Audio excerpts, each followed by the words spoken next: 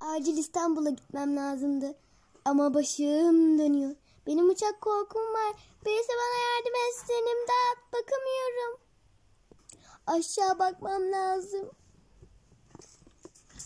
Wow, çok yükseğe çıkmışız.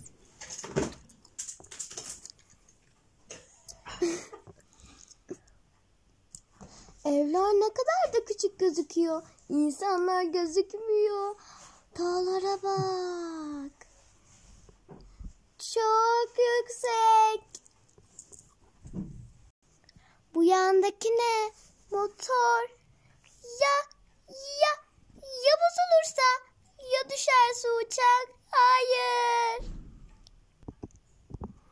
Merhaba efendim. Yine bin bir uçağımıza hoş geldiniz. Yiyecek bir şeyler ister miydiniz? Ay, bir su alabilir miyim lütfen? Tabii ki de hemen getiriyorum.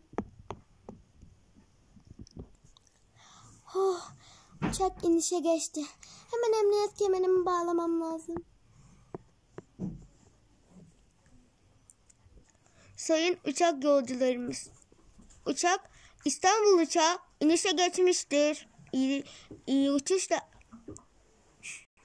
bizi seçtiğiniz için teşekkür ederiz. Oh başım dönüyor ama inişe geçtik. Yeah indik. Uhu. Oh hala başım dönüyor ama sonunda eve gelebildim. Oh biraz dinleneyim. Şuraya oturayım. Oh be. Ne kadar uzun bir yolculuktu. Uçak düşecek diye çok korktum.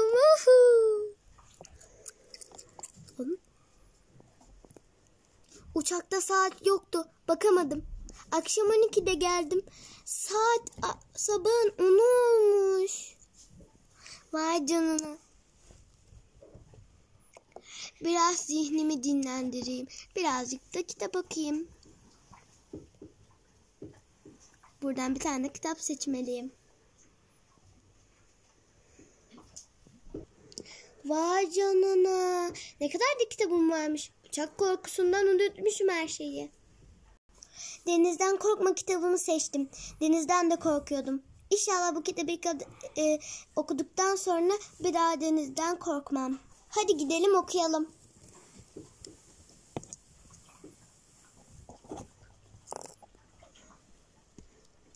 Denizde çok nadir ısıran canlılar bulunur. Hmm. Çok nadir dalgadan ölen insanlar bulunur. Bu yüzden dışarıdaki insanlara bu korkma sürecini söylediğimizde dışarıdaki insanlara çok saçma gelir bu denizden korkma korkusu. Kitabı alayım da yerine koyayım.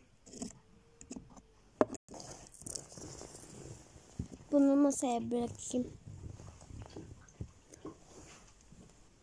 Ay ev ne kadar da kirli. Evet arkadaşlar bir sonraki videoda görüşürüz. Benim arkadaşlarım gelecek. Hem bu evi toplamam lazım.